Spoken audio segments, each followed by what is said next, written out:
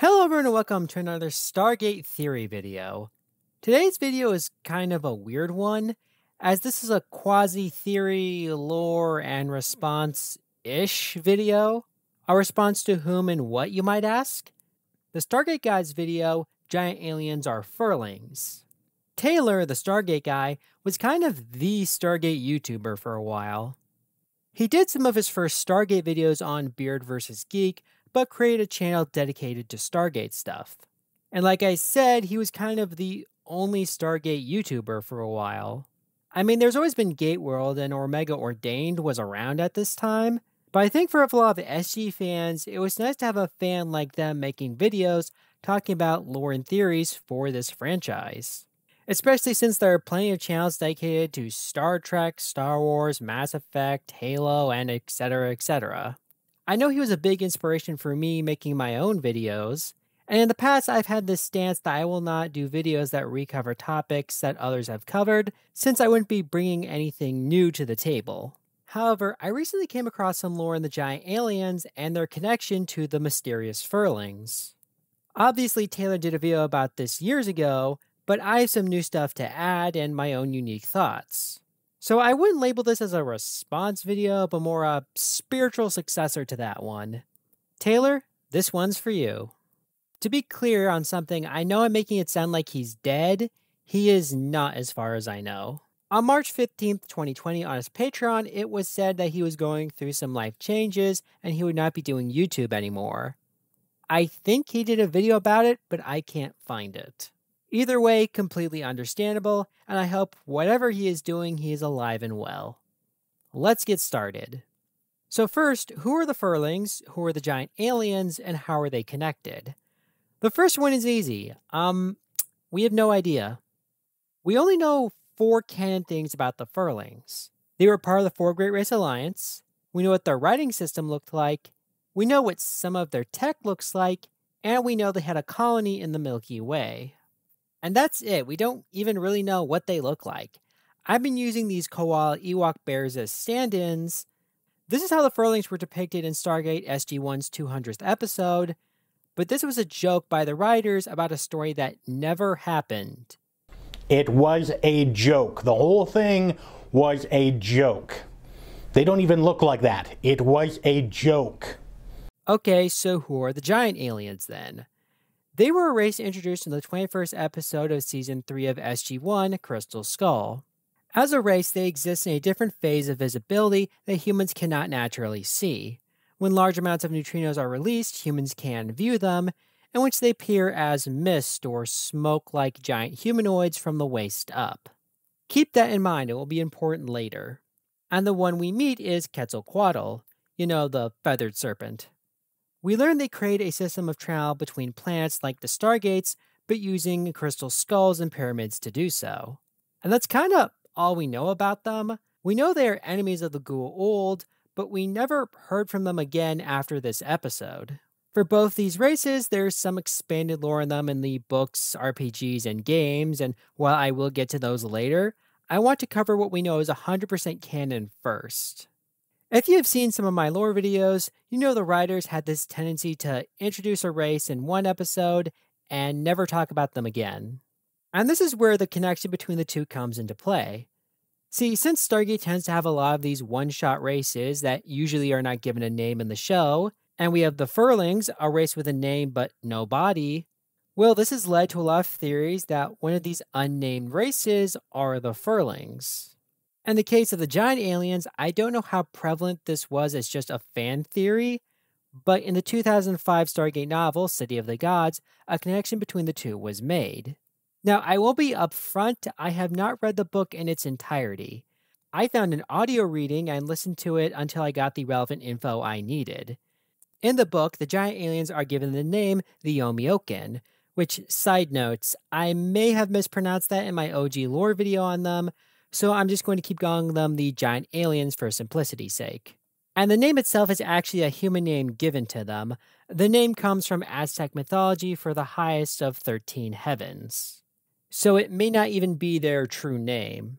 Anyway, in the book, they are heavily hinted to be the Furlings or something else we will get to later. And the main evidence for this is that the writing in the giant alien's pyramid matches that of the Furlings, which, like I said, is weirdly one of the few things we know about the Furlings. So that seems like a pretty legit connection between the two, right? Well, no, for three reasons. First, how Stargate canon works because it's a little odd. See, in something like Star Wars, all the books, comics, and video games are meant to be canon. Yes, a lot of works were decanonized or split off into the Legends continuity when Disney took over. And yes, Disney's Star Wars does have a really bad habit of decanonizing the stuff they made. But in theory, they are all part of the same canon. Minor errors here and there, but that's the idea. In Star Trek, we get levels of canon, famously Alpha and Beta. Alpha is anything from the shows and movies, and Beta is everything else. And if something from, say, a book contradicts something from one of the shows, then it is simply listed as non canon or Alpha canon overrides it. Okay, what does Stargate do? I have no idea. There's never really been any official statement or stance, at least I could find from MGM, about how the books, comics, audio dramas, and games fit into the wider universe. The only info fans have been given on this is from some of the writers. I can't say how every writer feels about it, but the best one to sum up comes from Robert C. Cooper. In an interview he did with Dial the Gate, he talked about some of the work he and Brad Wright did with the book authors and that it wasn't much since they were so busy running the show. They would talk with some of the authors and give comments on the stories about whether it would line up with the universe, but some authors would go off and do their own thing outside of the mythology. A good example was in the Stargate Universe comics, which introduced the idea of ancients on Destiny present day, an idea Robert said was not his intent for universe. As such, fans have come to the general consensus, based on the comments I get in my videos, that no, the expanded works are not canon. The most common idea I see is that the books, comics, RPGs, and the shows each have their own separate canons. Although none of what I said matters because of problem 2, the book makes a gigantic error. What's wrong with it? Remember what I said about the main evidence that the giant aliens are the Furlings was the writing in their pyramids? Well, here's the problem. If you go back and rewatch the episode Crystal Skull, there is no writing in the pyramid. In fact, Daniel makes a specific comment on this. Uh, I can't be sure there's no writings of any kind on the pedestal. And that's not even the only one. I found a part where the book claims that the Goa'uld were an extragalactic race. So even if the books were canon and had an alpha and beta system, this would mean this book or this detail isn't canon. And then, of course, there's problem three, and if you knew about this, you knew it was coming. Joseph Mallozzi. Joseph Mallozzi was an executive producer and writer for a lot of Stargate projects, and he's noted as saying that we have never seen the Furlings on screen, only their technology. Though I will admit I couldn't find the quote of him saying this. However, I did find a quote of him saying that the giant aliens, along with the faith aliens from Universe, are not the Furlings on his blog from 2011. So that's it then, right? The book that cites this is not considered canon by many fans and writers. The fact they appear on screen disqualifies them due to the comment that we have never seen a furling on screen, and they were directly called out as not being the furlings. So this video is going to end here, and I'm not going to keep talking about this, right? Wrong! See, despite all that, there are two pieces of kind of lore I want to look at that well, don't prove these guys are the Furlings, because I think we have established that the answer is no. But there are some really strange connections to be made that I don't think you can just ignore. The first comes from Stargate Worlds, an MMORPG, which, fun fact, has been heavily hinted that this game was meant to be canon with the shows. This comes from indications Gateworld received from Brad Wright and Robert C. Cooper and the game developers. Senior content designer Stephen Garvin states that they were very gracious about accepting their stories. One of these stories being their idea of the furlings, or more accurately, the furling, as their idea would have been that the furling was a single entity, one that stretches across time, being able to see the past and future. The furling would have either created or helped in the evolution of the Goa'uld, which was part of a larger effort by the Alliance to create caretaker races that would have succeeded them. But the Goa'uld would turn on the Furling and later the remnants of the damaged Furling race would have been enslaved by Ra, who would have returned for the game. The Furling would have been corrupted and turned into the Stragus. And you'll notice that two of these enemy types share the same body structure as the giant aliens a humanoid figure with only an upper torso. And what makes this more interesting is if you look at more of the concept art. Now, I found this on a video that Gateworld had done on the Furlings, though sadly they did not provide a source.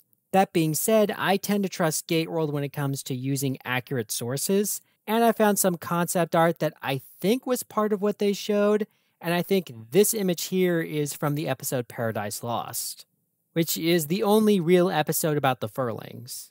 Anyway, this concept art, specifically the lower two images here, we see what appears to be giant aliens made of mist or smoke. I don't know if these depictions are of the Furling or their later corrupted versions, but it is interesting that, again, they share characteristics similar to that of the giant aliens. In this case, being, well, giant, and their bodies being made up of what appears to be mist or smoke.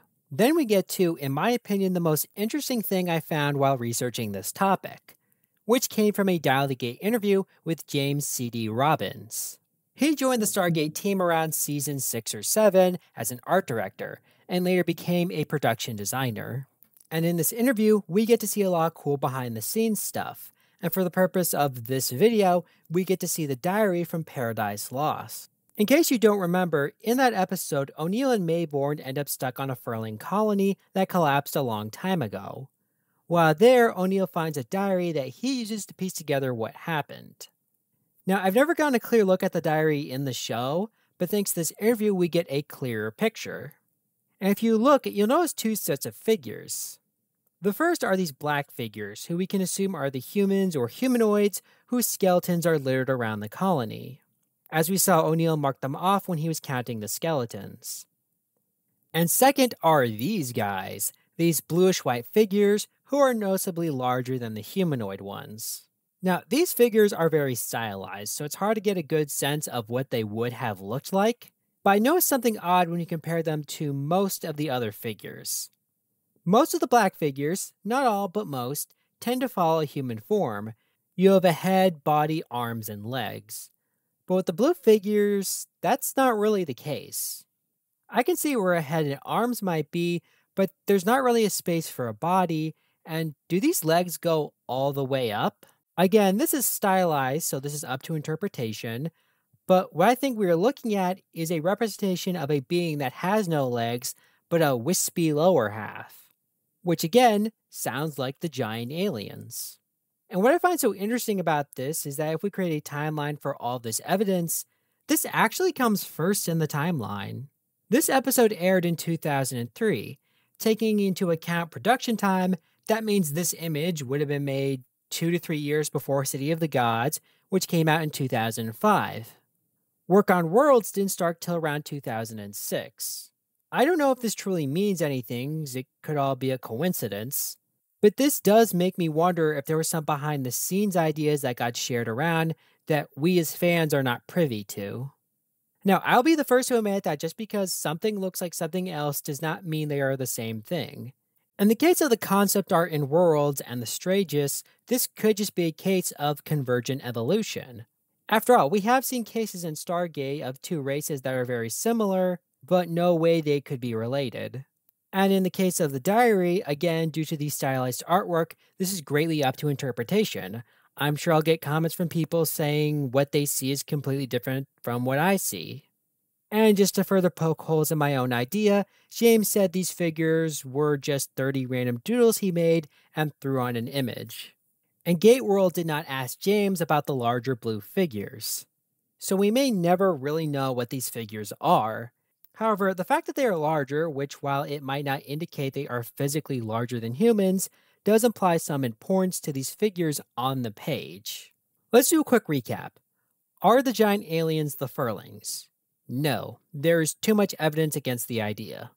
However, they share a resemblance to a piece of Furling artwork, which is one of the only canon things from the show, as well as a resemblance to the only depictions of the Furlings from a game that, yes, was never made, but was supposed to be canon.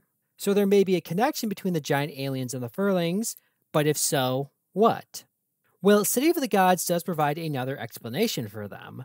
The giant aliens may not be the Furlings, but a computer program, an automated system that was left behind to watch over the Crystal Skull network.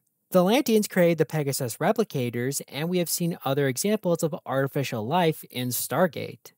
Would it be crazy to think that another member of the Four Great Race Alliance could create artificial beings as well? Though I wouldn't think of them as true AI, Daniel's grandpa in the book grew to believe that the Quetzalcoatl we met in the show was not the original, but a very advanced interactive computer program that used his image.